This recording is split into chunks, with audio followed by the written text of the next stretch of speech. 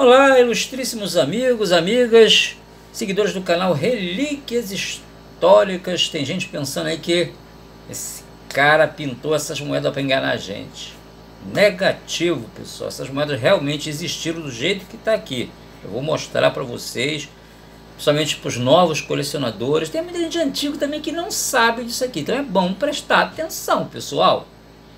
Então realmente teve essas três moedinhas de 10 centavos com reverso assim, bonitinho, só muda, presta atenção, muda só a data embaixo.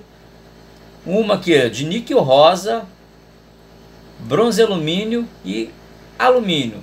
Detalhe, todas as três com reversos iguais e anversos diferentes. Vou mostrar, ó. Ó, níquel rosa, Getúlio Vargas. Ó, 10 centavos, bronze alumínio. José Bonifácio, foi o patrono da independência do Brasil, tá? Já saiu a a moeda não, a medalha dele no passado do bicentenário.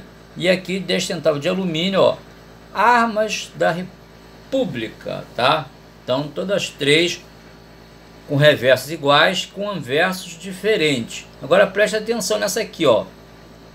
1943, ó, níquel rosa, ó, Aparece outra de 1943 de bronze e alumínio, certo? Então em 1943 teve as duas do Getúlio, tanto em níquel rosa como bronze alumínio, certo? Então se liga, tirando essa aqui de cena, vamos para as moedinhas aqui. Vou mostrar o ano de cunhagem dessas moedas, quem gosta de fazer coleção, que quer vender. Então vamos lá. A do Getúlio Vargas, Começou em 1942, tá? Níquel rosa 42. 43 teve níquel rosa e bronze alumínio. E de 44 até 47 em bronze alumínio. Então essa moeda aqui foi cunhada entre 1942 e 1947, tá? Então, presta atenção. Essa aqui terminou em 47, essa aqui começa em 1947, certo?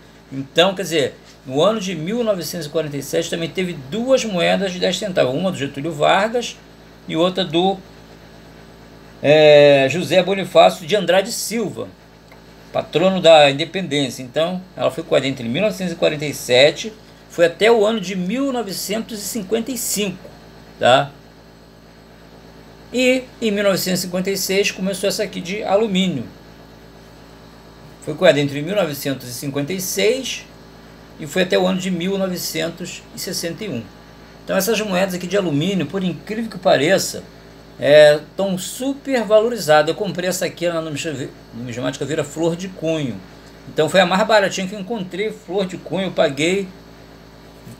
Vai ficar melhor, vou mostrar em dois catálogos, essa, essa de alumínio, para vocês verem o valor, né? Paguei 40 reais por essa moedinha Flor de Cunho de alumínio de 1900 e 57. 40 reais não, 30 reais que eu paguei nessa moedinha de 57, flor de cunho. Então aqui ó, os valores dessa moedinha de 10 centavos ó.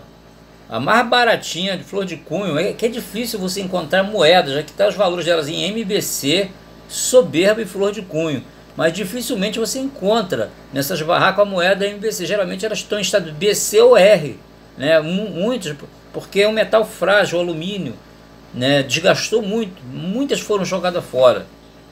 Então foram, foram moedas que não tiveram assim, uma quantidade de tiragem muito alta. Nesse catálogo do Vieira não, não mostra. Estou mostrando aqui os valores, tá? Mas vou mostrar um outro para vocês verem a quantidade de tiragem dessas moedas. Então dá para ver aqui, ó, mesma coisa, né? Aqui está um pouquinho mais barato, no Vieira eu paguei 30. Aqui é o catálogo de Curitiba, esse aqui. Mas ó, os valores, de 58 até aumenta. Aqui é a quantidade de Cunhá, já de 57, ó, 25 milhões. Mas a maioria aqui, ó, essa de 56, ó, 741, a de 58. Ela está até mais valiosa de 58 porque associaram essa moeda de 58. O Brasil foi campeão da primeira Copa do Mundo em 58. Associaram essa, essa moeda aqui à camisa 10.